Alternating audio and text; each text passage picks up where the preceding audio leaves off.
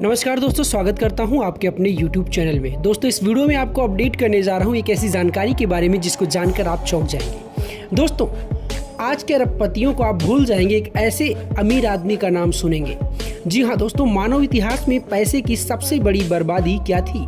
इतिहास में पैसे को कचरे की तरह कब इस्तेमाल किया गया, इस चीज़ को मैं इस वीडियो में बताने वाला हूँ।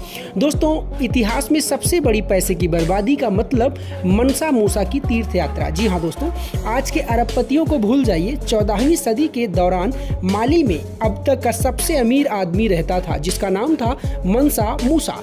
बिल गेट्स और एलन मस्क अपने अदानी जी आज टॉप लेवल पर हैं, लेकिन उनकी संपत्ति का चौदहवीं शताब्दी के पूर्वार्ध के दौरान माली साम्राज्य के शासक मनसा मूसा के मेल खाना संभव लगता है। उनकी कुल संपत्ति लगभग 400 बिलियन अमेरिकी डॉलर होने का अनुमान है, जिसका मुख्य कारण नमक और सोने जैसे पर्याप्त संसाधन हैं। दोस्तों, मैं अगर आपको बताऊँ कि उस समय में अमीर व्यक्ति जो था, जिनका नाम था मनसा मूसा, उनका कुल संपत्ति तो मैंने बता दिया है, लेकिन आगे कुछ ऐसी चीज़ें बताऊँगा जिसको जानकर आप चौंक जाएँगे। दोस्तों, क्या कोई व्यक्ति नमक और सोने का व्यापार करके अरबों रुपए कमा सकता है, चौदहवीं शताब्दी में। जी हाँ दोस्तों, एक धर्मनिष्ठ मुसलमान के रूप में वह अपनी हज यात्रा के लिए मक्का की यात्रा पर निकल पड़े।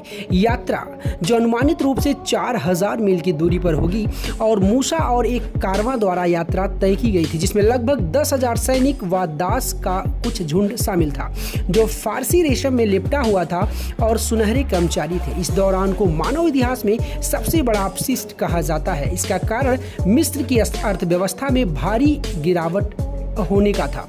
यानी कि इसे ठीक करने में मिस्रवासियों को एक दशक से भी अधिक समय लग गया। दोस्तों, बताऊँगा किस तरीके से मिस्र की अर्थव्यवस्था चरमराई थी। दोस्तों, मूसा की उदारता और विदेशी वस्तुओं की खरीद ने मिस्र के बाज़ार में सोने ही सोने डाल दिया। यानी कि जल्द ही सोने जैसे कीमती धातु का वहाँ कोई मोल भाव नहीं रहा और उसने मिस्र की अर्थव्यवस्था को लगभग नष्ट ही कर दिया। जैसा कि दोस्तों मैंने एक और वीडियो बनाया है कि सरकार क्यों नहीं नोट ज़्यादा छापे ताकि सरकार की गरीबी कम हो जाए।